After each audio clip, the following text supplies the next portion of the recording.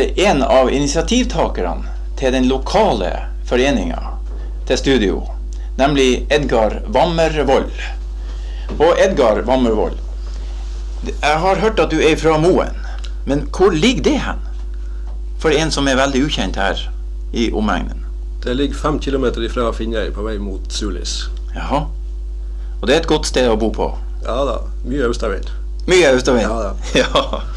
Er du leder av denne foreninga? Nei, det er jeg ikke. Jeg var leder da Jeg ble valgt som leder da vi starta foreninga i eh, 1981. Og var, var med i styret en eh, fire-fem år utover. Så har jeg gått ut av, styret. Men jeg prøver nå å være med litt sånn eh, Prøve å være et aktivt medlem. Mm. Du er leve ånde for denne saken. Ja, den opptar meg ganske sterkt. Jaha. Det 15. mars, det er en markeringsdag. Eh, Hva er det som skal markeres da?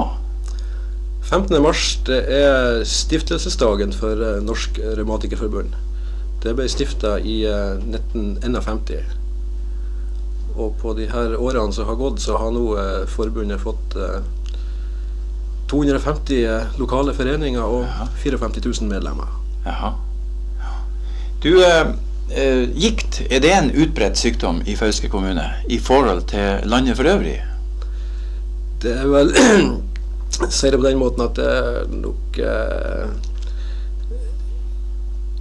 Jeg har ikke hørt om at det er noe annen forekomst på Fauske enn det som du finner i, i landet for øvrig. Ja. Du har en av disse revmatismesykdommene sjøl. Ja, jeg har en Bechdrev-sykdom, og det har jeg hatt siden jeg var eh, 10-11 år gammel. Det er vel ikke helt lett å leve med en sånn sykdom? Nei, det kan være svært eh, slitsomme perioder. Mm.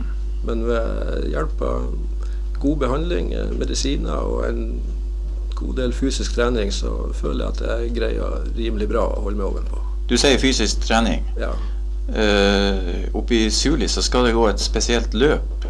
Der skal du være med? eller? ja, jeg skal gå kopperløpet for tiende gang i år. For tiende gang. Ja. Det er vel en kraftanstrengelse? Det hvert så veldig godt når det kommer i mål. ja.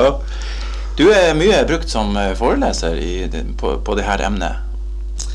Jeg har vært eh, en, i en del sammenhenger og holdt foredrag både om eh, Norsk Revmatikerforbund og om revmatiske sykdommer, og også om eh, hva skal jeg si, brukerens opplevelse av hjelpeapparatet. Og det har jo vært eh, veldig lærerikt for meg, i hvert fall.